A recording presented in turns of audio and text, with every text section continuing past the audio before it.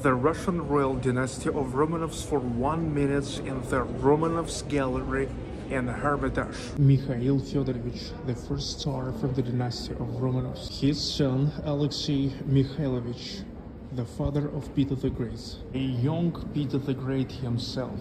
Catherine the First, the wife of Peter the Great, their daughter and Empress Yelizaveta Petrovna, Peter the Third, the nephew of Elizabeth, Peter the Third's wife, Catherine the Second, Tsar Paul the First, the son of Peter III and Catherine II, the son of Paul I, Emperor Alexander I, another son of Paul I, Emperor Nicholas I, the son of Nicholas I, Tsar Alexander II, the last Russian Tsar Nicholas II.